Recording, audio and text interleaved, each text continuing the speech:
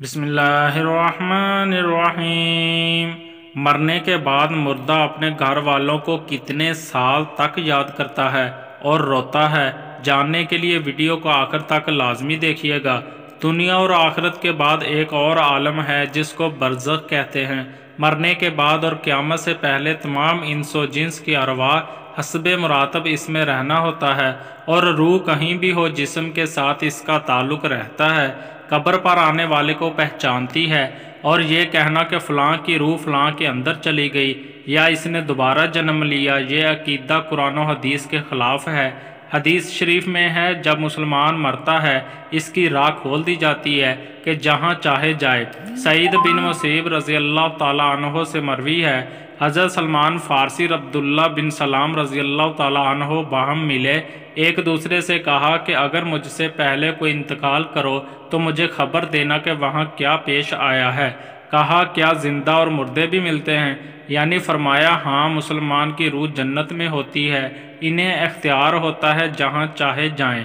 क्या मरने के बाद मुर्दे अपने घर वालों को याद करते हैं? देखें, जब किसी इंसान का इंतकाल हो जाता है तो वो मरने वाले शख्स को ये मालूम होता है कि हम इस दुनिया से मुंतकिल होकर इस दुनिया में, यानी आलम बरज़क में आ गए हैं। और इसको ये सारी चीज़ें याद होती हैं कि हमारा घर है, मकान है, रिश्तेदार हैं, अज़ीज़ व कारब हैं और हमारी बहन भाई हैं और हमारी एक फैमिली है। और यहाँ तक कि जब इस मुर्दे की रूह निकल जाती है, जब इसको दफनाया जा रहा होता है तो फिर इस वक्त वो मुर्दा अपनी आँखों से सारी चीज़ें देख भी रहा होता है। यानी कि इसकी जो रूह होती है, वो इन सारी चीज़ों को देख रही होती है। और इसको ये पता होता है कि अब हमें कफन पहनाया जा रहा है। और अब हमारे जनाजे को उठाया जा रहा है। लिहाजा नेक बंदा तो यहाँ तक कहता है, जब इसके जनाजे को लोग उठाते हैं तो वो कहता है कि ए लोगो, जल्दी मुझे लेकर कब्रस्तान की तरफ़ चलो और बहुत जल्द मुझे मेरे असली ठिकाने में, यानी कब्र के अंदर पहुँचा दो, क्योंकि इसको मौत पर ही पता चल जाता है कि इसका आगे होने वाला क्या है, यानी आगे आने वाले जो मरले हैं वो अच्छे हैं। इसके लिए हैं आसान हैं या सख्त हैं, मुश्किल है, को पहले ही पता हो जाता है। क्योंकि रूह निकलते वक्त की जो तक सख्ती है, रूह निकलने की इसी से मुर्दे को महसूस हो जाता है। तो मोमन बंदा कहता है, मुझे जल्दी लेकर चलो और मुझे कब्र के अंदर उतार दो। मेरे असली ठिकाने तक पहुँचा दो। क्योंकि आकाम ने इरशाद फरमाया, दुनिया मोमन की कैद खाना है, काफिर के लिए जन्नत है और जो गुनागार फासक, फाजर, बेनमाजी इंसान होता है वो चीख चीख कर ये कहने की कोशिश करता है कि मुझे कहाँ लेकर जा रहे हो? ऐ मेरे बच्चे, मेरी फैमिली से कहता है कि मैंने अपने बच्चों के लिए बहुत ज़्यादा कमाया और इनके लिए घर बनाया। अब तुम हमें हमारे घर से निकाल कर अंधेरी कब्र कोठरी के अंदर कहाँ डालने जा रहे हो? इसे बहुत घबराहट हो रही होती है। तो वह अपनी ज़बान हाल से कहने की कोशिश करता है कि ए लोगो, मुझे मत लेकर जाओ। बहरहाल इसको जब कब्र के अंदर रख दिया जाता है तो इसको ये पता होता है कि अब हम कब्र के अंदर रहें और हमारी फैमिली हमारी पिछली दुनिया में जिसमें हम पहले थे, वहाँ हमारी फैमिली और हमारे रिश्तेदार मौजूद हैं। यहाँ तक कि जब कोई इंसान अपने किसी मुर्दे की कब्र पे जाता है तो वह मुर्दा इस कब्र पर आने वाले को पहचान भी लेता है कि ये हमारा फलां शख्स है। अगर बाप कब्र के अंदर है तो वो पहचान लेता है कि हमारी कब्र पे आया हुआ हमारा बेटा है, हमारा भाई है, रिश्तेदार है लेकिन अगर वो अपने गुनाहों की वजह से सज़ाएँ भुगत रहा होता है, कब्र में तो वो फिर पहचान कर भी इसको कोई तवज्जो और ध्यान इसकी तरफ़ नहीं होती। अच्छा आप कब्र पर जाते हैं तो क्या कहते हैं? कहते हैं कि नहीं असलकुम या अहलल कबूर, ए कब्र वालो, तुम पर सलामती हो। इससे मुराद वो फरिश्ते हैं जो कब्र के अंदर हैं और वो मुर्दा जो कब्र के अंदर है। इसको ये चीज़ पता होती है, वो फिर वहाँ से याद भी कर रहा होता है।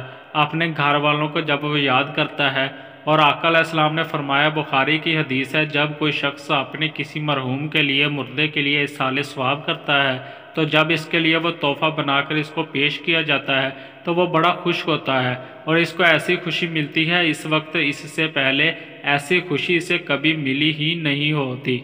जब कोई बंदा किसी के लिए साल स्वाब करता है जो इस वक्त इसको खुशी मिलती है तो बहुत ज़्यादा खुश होता है। तो बहरहाल वो अपने घर वालों को याद करता है, जो गुनागार बंदा होता है। इससे ये दुनिया बहुत याद आती है कि हम बहुत ऐश की ज़िंदगी में थे, क्योंकि इसके लिए वो जन्नत थी। गुनागार के लिए तो बड़ा ऐश, वो सोचता जो हमारी वो ज़िंदगी थी, दुनिया वाली, वो इस ज़िंदगी को बहुत याद करता है। लेकिन जो नेक बंदा होता है तो वो इसके लिए दुनिया कैद खाना होती है।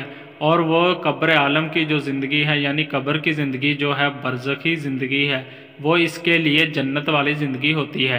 क्योंकि इसके लिए कब्र में जन्नत का बिछौना बिछा दिया जाता है।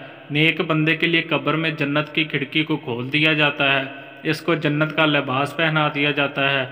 जन्नत की खुशबुएँ कब्र के अंदर महसूस करता है। वो नेक इंसान, जो नेक मुर्दा होता है, वो बड़ी राहतों में होता है। तो इसके बाद इसको दुनिया की किसी तरह की कोई टेंशन, कोई फ़िक्र, परेशानी नहीं होती। अब वो अपनी इस ज़िंदगी में होता है जिसमें इसका असली ठिकाना है। तो वो इसी में खुश रहता है और कुछ नेक लोग ऐसे होते हैं, जब इनका इंतकाल होता है तो इनको ऐसे सुला दिया जाता है कि जैसे नई नवेली दुल्हन होती है। कुछ की रूहें परिंदों की फ़ोटो में रहती हैं तो बहरहाल नेक बंदा जो है वो बड़ी ऐशो आराम की ज़िंदगी बसर करता है और इसे दुनिया की किसी तरह की कोई फ़िक्र नहीं होती। और जो गुनागार बंदा है, इसको ये दुनिया बहुत याद आती है और वह कब्र की सख्तियों से बहुत परेशान होता है। बहरहाल, जो असल चीज़ है, वो अमल है। अमल पर ये सारी चीज़ें हैं। अगर इंसान के अमल अच्छे हैं तो मौत से अच्छा मैसेज कोई नहीं। और अगर इंसान के अमल ख़राब हैं तो मौत से बुरा इसके लिए पैगाम कोई नहीं। कुरान मजीद में अल्लाह ताला का इरशाद है, तुम अपने रब से गिड़गड़ा कर और आहिस्ता दोनों तरीक़ों से दुआ किया करो। बेशक वह हद से बढ़ने वालों को पसंद नहीं करता। नमाज़ जुमा रसोल्ला सल वसम का इरशाद है, जो मुसलमान मैत की नमाज़ जनाजा चालीस नमाज़ अदा करें, जो अल्लाह के साथ किसी को शरीक नहीं ठहराते तो अल्लाह ताली इस मैत के हक़ में इनकी सिफारिश को ज़रूर कबूल फरमाता है। दूसरी रवायत में आप वसल्लम का इरशाद है, जिस मैत की नमाज़ जनाजा उम्मत मुसलमा के सौ अफराद अदा करके इसकी शफात करते हैं तो इनकी सिफारिश इस मैत के हक़ में कबूल की जाती है। इमाम इबन कैम रहमत फरमाते हैं नमाज़ जनाजा का मकसद मैत के लिए दुआ है। कब्र के पास खड़े होकर दुआ और तलब मगफरत करना। हज़रत अब्दुल्ला बिन उमर रज़ी अल्लाह तु की रवायत है कि रसूल अलैहि वसल्लम जब मैत को कब्र में रखते तो फरमाते, बिसमिल्लाह वाला सुन्नत रसूलुल्लाह। अल्लाह ताला के नाम से और रसूलुल्लाह सल्लल्लाहु अलैहि व वसल्लम के तरीके पर नीज़ हज़रत उस्मान बिन अफ़ान रज़ी अल्लाह की रवायत है। वो कहते हैं कि जब रसूल मैत की तदफीन से फ़ारग होते तो कब्र पर खड़े होकर फरमाते हैं, अपने भाई के लिए मगफरत की तलब करो और इसके लिए साबित कदमी मांगो, इसलिए कि अभी इससे सवाल किया जाएगा। तो अल्लाह रब्बुलमीन की बारगाह में दुआ है। अल्लाह तबारक ताली हम तमाम लोगों को खूब अच्छे और नेक अमल करने की तोफ़ी ता फरमाए। तमाम नाजरन से गुजारिश है कि अल्लाह ताली के ननानवे नामों में से एक नाम ज़रूर लिखें। मज़ीद अच्छी वीडियो देखने के लिए हमारे चैनल को सब्सक्राइब करें। शुक्रिया।